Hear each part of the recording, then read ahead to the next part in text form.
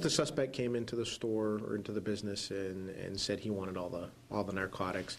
The suspect was wearing a mask, um, so there was some limited view. And the suspect made access to the cashier's area behind the counter. Police say it was early in the evening on Monday when the masked man entered the Lyndonville pharmacy and ordered the two employees in the store to give him narcotics. Police say he ran through the front door, but because of his mask, they don't have a description of his face. Um, a description was obtained of a suspect wearing a black jacket, some sneakers, and had fled the area on foot with an undisclosed amount of narcotics.